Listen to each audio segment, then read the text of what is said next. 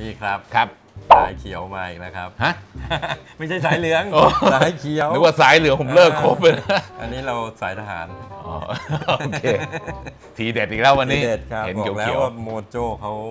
เขามาเป็นเขาเรียกว่ามาเป็นกองทัพใช่ ก็ตัวนี้ก็เป็นอีกรุ่นที่น่าสนใจนะครัใช่ ก็หน้าตาเรียบเรียบหรูดูดีๆฟังก์ชันครบเครื่อง นะฮะ เดี๋ยวมาตามชมกันครับ ครับ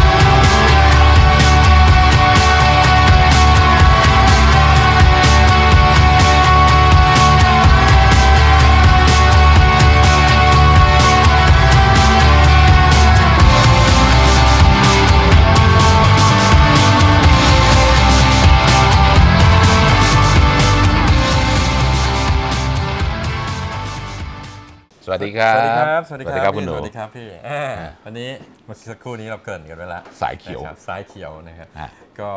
ที่บอกว่ามาเป็นกองทัพนะฮะฮะท่านบางท่านอาจจะได้ได้ชมคลิปก่อนหน้านี้ไปที่เป็นซิงเกิลดีวดีใช่นะครับจากค่ายโมโจนะครับฮะก็มีทั้งหมดน่าจะ 3-4 ตัวด้วยกัน ใช่เราตัวก็นี้จะเป็นอีกทยอยหนึ่งในนั้นแนะนำนะครับนะครับ ก็เพราะฉะนั้นฟังก์ชันเหมือนกันหมด ถูกนะฮะฮะฉะนั้นคลิปนี้เราก็จบกันเพียงเท่านี้อะเดี๋ยวก่อนสินั่นแหละครับไม่ใช่สั้นไปสั้นไปโอเคสั้นไปนะอะก็ก็ได้ยังให้ไปดูคลิปก่อนหน้า ใช่ไม่ใช่เอาไม่ใช่โอเคโอเคนะครับก็อย่างนี้ตัวนี้นะครับดูจากหน้าตาก่อนเลยอ่าตัวนี้ เป็นกล่องสายเขียว ใช่ ที่จอเป็นสีฟ้าสีฟ้า ทุกทีก็จะเจอเป็นหน้าแปะเขียวสีเขียวนะครับชัดเจน ตัวนี้ไฟโทนฟ้าไฟนะฮะโทนบางคนที่ครัอาบจจะแบบว่าเออชอบโทนนี้ดูทันสมัยอืมกว่า คือสีเขียวก็จะได้เรื่องดูสบายตาอ่าอ่าสีฟ้าก็จะได้ดูแบบอื้อหือครับ วัยรุ่นนิดหนึ่งนะครับ ครับ แต่ก่อนจะคุยเรื่องฟังก์ชันบอกชื่อรุ่นนิดนึงนะครับ จ้โมโจ MO DVD M1 M1 M1 หรือ M1 M16 นะอ่า M1 M1 โอเคนะครับ นะครับ ตัวนี้ก็ต้องบอกว่าราคาเนี่ยไม่ต้องไปพูดถึงนะย่อมเยาวเหแน่มือนนอนได้ฟรีอะไม่ไม่ใช่คือถูกย่อมรคเยาถูกย่อมเยาย่อมเยาวมากนะ นะครับ ก็สามารถซื้อหาใช้งานกันได้ง่ายใช่ๆนะครับสำหรับคนที่บางทีรถเก่าอะถูกไม่อยากที่จะไปไปลงทุนอะไรมากมาย โอ้โหอุ้ยเพราะว่า เดิมนี่แค่ค่าซ่อมก็แย่แล้ว ใช่แต่อยากมีเพลงฟังถูกเราจะไปซื้อพวก2ดินอย่างน้อยก็ต้องมี4ี่ห้าห้าพันแล้วอ่าโดยเป็นยันเป็นหมื่นอะถูก นะฮะเอาเงินเก็บไปซ่อมรถนี่หว่า ใช่อะไรประมาณก็นั้นตัวนี้เป็นทางเลือกที่ดีใช่เพระแล้วก็รคถูบางทีมกสำหรับคนที่ขับเสียงดีพวกรถคลาสสิกรถเรโทรอยากได้หน้าตาแบบใช่ดูคลีดูนคลีนแล้วก็เข้ากับโบราณนิดนึงรถเออไม่ใช่อยู่ดีเปิดโอ้โหใส่สองดินไประเบิดช่องมันก็ดูมาสีสันคัลเลอร์ฟูมาก มันจะดูไเอาแปลกแยกก็นะครับอันนี้ก็จะดูแบบเรียบดูง่าย ใช่ ก็โทนไฟก็จะมีไม่เยอะละก็จะครับมีโทนสีฟ้าแล้วก็จอเป็น LCD LCD ธรรมดาเลยนะคครัรับบ ก็ช่องใส่แผ่นช่องอยู่ด้านใส่บแผ่นน อยู่ด้านบนใช่อ่าใส่ DVD ได้นะครับ อ่า MP3 สาม CD CD นะครับก็อย่างอย่างที่ย้ำนะฮะอืม VDO CD ไม่เขาเลิกอ่นไปแล้วนะฮะอ่าคือเขาเลิกเล่น ไปแล้ว DVD ไปเลยนะครับ ก็ครับแล้วตรงนี้ก็พอเปิดตึ๊บมา USB นะครับเป็นช่อง USB แล้วฮะก็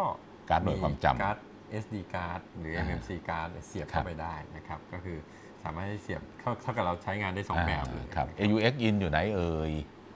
ตัวนี้เหรอเอ๊ะอยู่ด้านล่างนี่เลยอ๋อนะครับอยู่โซนเดียวกัน สามารถที่จะเสียบครับ ไอ้ตัว 3.5 มิลที่จากมือถือ อืม เหมือนไอ้เฮดโฟน headphone อ่าก็เสียบเข้าไปเลยเข้าไปได้เลยเหมือนกันครับนะครับก็ปุ่ม eject อยู่ด้านนี้นะครับ อ่าก็คือเอาแผ่นออกครับ ใส่แผ่นก็เป็น auto loading อยู่แล้วนะครับ volume ก็เป็นอนาล็อกง่ายๆแหมผมว่าได้ feel volume ตรงนี้ผมว่าน่าจะเป็นดิจิตอลแล้วแหละ แต่ว่าอ่าทำให้เป็นให้ทรงเป็น analog analog นะครับครับ ก็ปรับง่ายนะฮะปรับขึ้น volume เสียงลงอืม ง่าย นะฮะปุ่ม memory อ่าสถานีเลือกวิท track ยุเพลงก็อยู่ตรงนี้เลือครักบเปลี่ยนแทร็กขึ้ครันบลงนะฮะเปิดปิดจะอยู่ด้านด้านด้านนี้ซ้ายนี่ทั้งหมดครับนะครับมี mute ไหมอ่าตรงนี้กดกดเข้าไปจะเป็นเมนูเกี่ยวกับการปรับแต่งเสียงนะครับก็จะเป็นอ่ามี loudness นะครับอ่าเปิดปิด loudness ได้มี DSP ที่เป็นกลุ่มที่เป็นเป็นอะพวกแพทเทิร์นมาเป็น pattern แจ๊สป๊อปร็อกอะไรอะไรทำนองพวกนั้นนี้นะฮะแล้วก็กดไปอีกทีจะเป็นปรับอืมเบส นะครัฮะบหมุนบวกลบอืมนะฮะเสียงเบสสไตล์เหมือนก็จ็อกทีชัตจะเตอร์ป็แบบที่เราสียงคุ้นเคยกันแล้วะอ่าเพราะฉะนั้นตัวนี้ EQ ก็จะเป็นมีแค่เป็นโทน EQ ก็คือเป็นเบสกับ treble treble นะครับครับก็ง่ายๆ simple simple นะฮะ simple แล้วก็ด้านหลังอะอะข้างหลังภาคขยาย 45 วัตต์คูณ 4 ตัวนี้ย่อมยาวแต่ก็ไม่ได้ละเลยเรื่องของการระบายความร้อน เพราะฉะนั้นครับทั้งความยาวเนี่ยก็จะเป็นแผ่นระบายความร้อนอืมอ่าหล่อขึ้นรูปด้วยอลูมิเนียมโอเค ภาคเรียวอ่านนะครับตัวนี้จะเป็น 4.1 ก็คือมีชุดหน้าคู่หนึ่งชุดหลังคู่หนึ่คู่หนึ่งงแล้วก็มีซับ w ูเฟอร์เอาโอ้นะครับตัวครับก่อนหน้านี้นี่จะมีจำเป็นไม่แค่4 channel สี่ก็เป็นหน้า channel กับหลังไม่มีซับ sub เอา out ตัวนี้จะมีซับเอาด้วย ก็เรียกว่าเด่นกันไปคนละแบบใช่นะครับก็สำหรับคนที่แบบจะต่อแอมเพิ่มครับซับอะไรเงี้ยก็เลือกรุ่นนี้ได้เลือกรุ่นนี้ได้นะครับแล้วก็มี AV out video อ่า out ก็ไปต่อจอได้ คือภาพเอาไปต่อกับจอมอนิเตอร์ได้ บางคนไปต่อกับจอพวกแบบว่าจอตั้งบนอืมแดชบอร์ดบางคนไปต่อกับจอที่เป็น เป็นกระจกมองหลังใช่เดี๋ยวนี้มีใช่นะครับแต่หรือว่าบนไปแดชต่บอร์ดกัก็จะเป็นพวกรถตู้หรือว่ารถที่ไว้ใช้ทำงานใช่ไปต่อกับจอใหญ่ไปด้านหลังอย่างรถตู้อ่าไปขึ้นจอข้างหลังแล้วเปิดดีวีจากด้านหน้าได้ใช่คนขับก็ขับไปก็ปลอดภัยไม่ต้องใช่เสียสมาธิใช่อะไรพวกเนี้ยใช่ก็ต้องบอกว่าเป็น segment ตลาดที่ค่ายอื่น ๆ ตอนนี้เลิกให้ความสนใจต้องบอกว่าเมื่อก่อนเนี่ยซิงเกิลดีวดีเนี่ยจะครับยี่ห้อไหนเนี่ยก็ต้องมี 5 6พันบาทขึ้นไปถูก นะครับที่เล่น DVD ยิ่งถ้าหากว่า USB ด้วยมีบด้วยด้วยลูทูธด้วยเผื่อๆจะโอ้แพเจ็งดแปดพันเจ็ดบาแปทดพันณวันเนี้ยความนิยมมันเริ่มลดลงเพียงครัแต่บว่าเขายังมีผลิตอยู่ เพราะฉะนั้อืนมราคาแน่นอนเขาก็ต้องลงมา ผมใช่ว่าระดับเนี้ยอยู่ที่ไม่รู้ 2,000 บาทหรือเปล่า2,000กว่าบาคุ้ทมนะ3,000 บาทอย่างคุ้มนะคุ้มคุ้มคุ้มค่าคุ้มมากเลยคุ้มรับมากสำหรับนะคนกลุ่มที่อยากจะประหยัดแล้วได้คุณภาพครัเสีบยงด้วย ก็เอาเป็นว่าถ้าสนใจโมโจโทรไปบริษัทดำริพัฒนาแล้วกัน ครับ สอบถามดูว่า